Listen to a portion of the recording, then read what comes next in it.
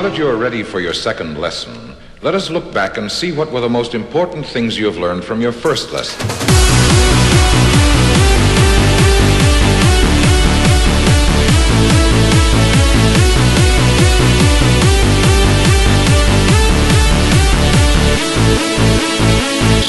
Second lesson.